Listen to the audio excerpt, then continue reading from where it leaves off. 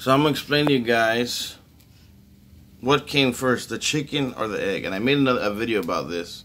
I made an, an old video about this, but in another video I said it was a chicken. I was actually wrong.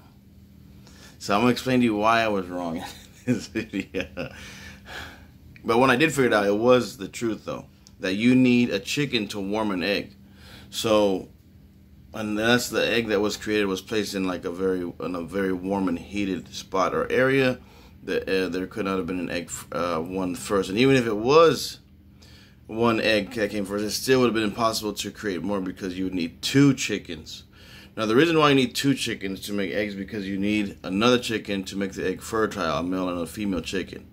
The female chicken can lay a lot of eggs by itself without a male chicken but the male chicken will make the eggs fertile. Without those fertile eggs, you will not have more chickens inside those eggs. So, two chickens came first.